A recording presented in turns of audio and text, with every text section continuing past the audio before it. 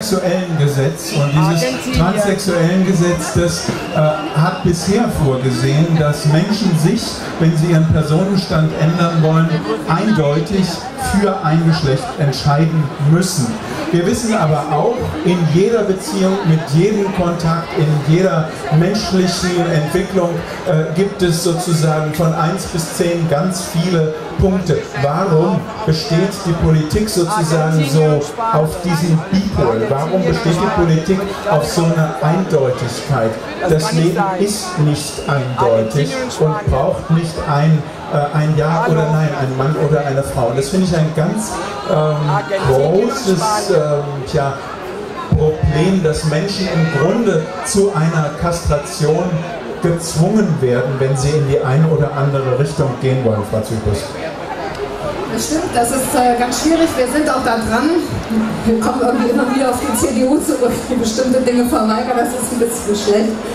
Ähm, weil das transsexuelle Gesetz unbedingt geändert werden muss. Und äh, da sind wir dran. Da haben wir in der letzten Legislaturperiode schon gerade noch am Ende einen Entwurf gekriegt, der dann wieder zurückgezogen wurde. Und äh, ich weiß nicht, wie weit Sie da jetzt gekommen sind. Aber da ist der Bundesinnenminister in der Pflicht, was zu tun. Und dass da was getan werden muss, ist völlig klar. Der Herr Kauch hat eben gesagt, das stimmt ja so nicht. Was stimmt denn da nicht? Oder habe ich das falsch verstanden? Also wir haben im Koalitionsvertrag durchgesetzt, dass es die Novelle des transsexuellen Gesetzes in dieser Wahlperiode geben wird.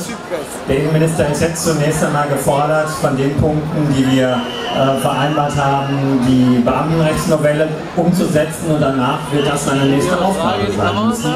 Denn er ist zuständig, einen Gesetzentwurf vorzulegen. Ja. Und ähm, ich glaube aber, wir dürfen Mich interessiert, was Argentinien und Spanien dazu zu sagen hat. Um das Thema Intersexualität. Ja, ganz genau. Das ist ein sehr katholisches Land und da passiert was und hier passiert gar nichts. In so Dingen wie dem internationalen Reiseverkehr Probleme nicht zu schaffen, sondern wegzunehmen.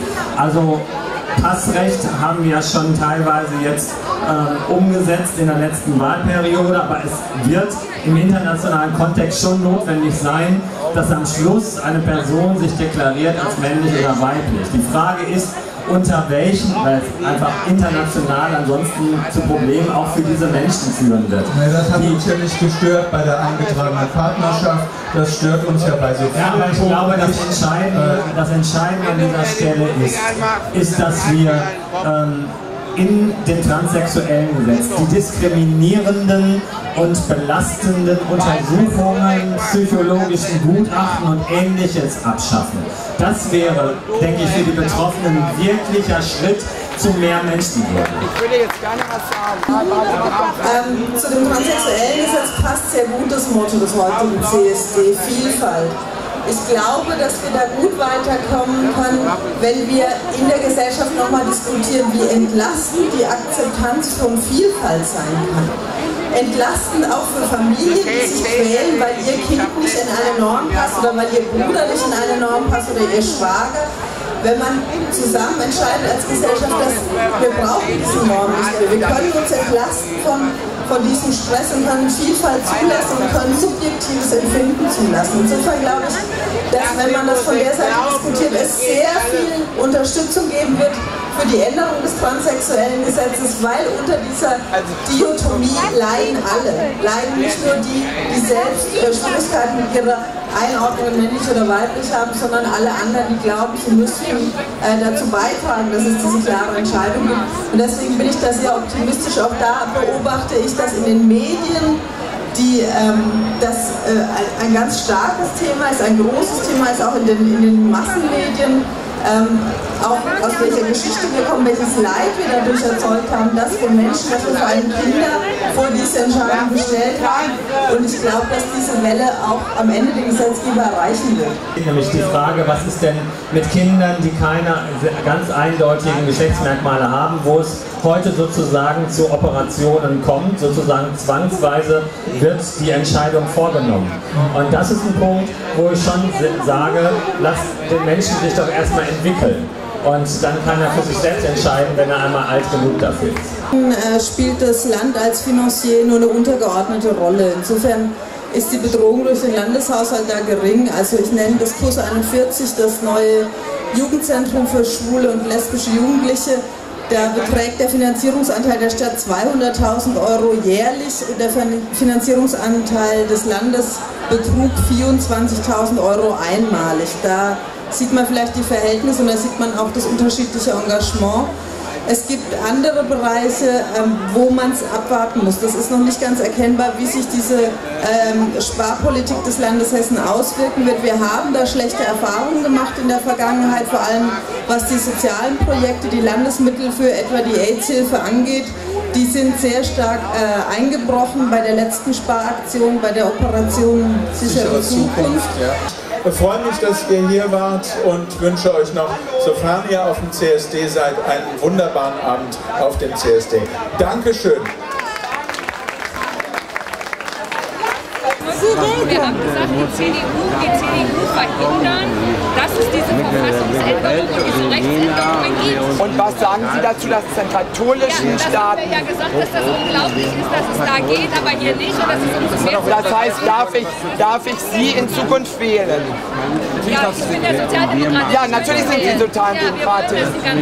Ja, natürlich, dann würde ich gerne hören, dass wir Sie wählen dürfen in der ganzen Parteistruktur. Ja, das ist, das ist doch in Ordnung, das machen wir schon die ganze Zeit. Wir kämpfen seit 1992. Ich weiß das wohl, aber warum, warum sagen Sie das hier nicht, dass in Argentinien und in Spanien das möglich ist? Gesagt, Ja, natürlich. Aber ich würde gerne hören, dass Sie das persönlich dafür einstehen. Ja, das, tu, das tue ich. Ich stehe persönlich dafür ein und habe mich als Justizministerin sieben Jahre... Ich weiß es ja wohl. So what? Nein, Soll ich nicht so sagen? what, aber dass Sie dafür stehen, weil ich würde gerne mein Kreuz bei der nächsten Wahl für Sie tun. Sehr, sehr, sehr, sehr gerne. der Verband der Lesben und Schwulen in Deutschland und da darf ich den Bundessprecher des äh, LSVD begrüßen, den Axel Buchheim. Herzlichen Dank, dass du heute da bist und wir wollen uns heute ein bisschen äh, unterhalten darüber, 20 Jahre LSVD. Äh, was war denn sozusagen euer Beginn? Was waren denn die ersten richtigen äh, politischen Ziele, die ihr umgesetzt habt? Ja, also wenn wir uns das mal anschauen, was für ein geiler CSD das heute ist, die Parade, und dann vielleicht mal zurückdenken, 20 Jahre, da gab es noch einen Paragraph 175, da waren wir Homosexuellen noch im Strafgesetzbuch der Bundesrepublik gestanden. Und das war so auch der Anlass für den, äh, die Gründung des LSVDs zu sagen, Liebe verdient Respekt, aber kein Strafgesetz. Und äh, wenn wir mal schauen, was der LSVD nicht allein als LSVD, sondern mit euch allen, mit den Community, mit den vielen Verbänden, die sich uns angeschlossen haben, erreicht haben, dann ist es, glaube ich, schon beeindruckend. Wir haben heute eine Lebenspartnerschaft, die fast der Ehe gleichgestellt ist. Wir haben ein Antidiskriminierungsgesetz. Wir haben eine Anerkennung in der Gesellschaft, die ein Motto wie das für den Frankfurter CSD, nämlich Stolz auf unsere Vielfalt, nicht nur als Thema erscheinen lässt, sondern wirklich nach außen hin trägt. Wir können heute stolz durch die Gegend laufen. aufzunehmen, die sexuelle Identität, dann sind das nicht nur sozusagen Momente, die etwas im Strafrecht bedeuten, sondern auch symbolisch grundrechtlich bedeuten. Der LSVD hat sich ja schwer dafür eingesetzt, dass äh, der Artikel 3 ergänzt wird.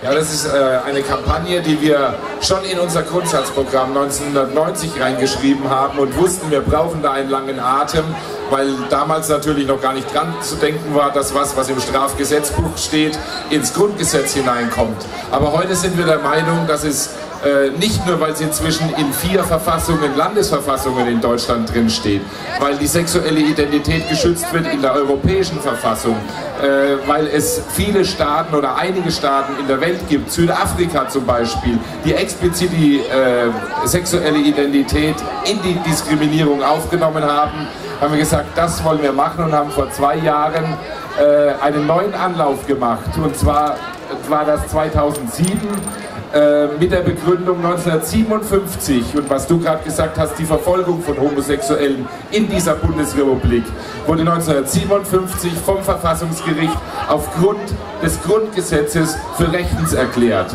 Und das heißt für uns heute, wir müssen eine Änderung herbeiführen, damit es nie mehr in Deutschland zu dem Punkt kommt, einfache Gesetze werden weggeworfen und die Minderheiten werden nicht mehr geschützt. Das Grundgesetz ist dazu da, Minderheiten zu schützen und dazu gehören wir hinein.